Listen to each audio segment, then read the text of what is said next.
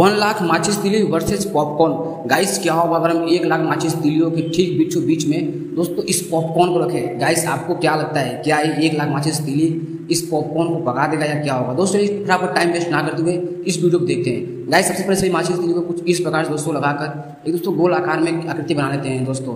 अब दोस्तों, उसके बाद इसके ऊपर लगा रखते हैं पॉपकॉर्न। दोस्तों, देखते हैं क्या है पॉपकॉर्न पक पाता है पक पाता है।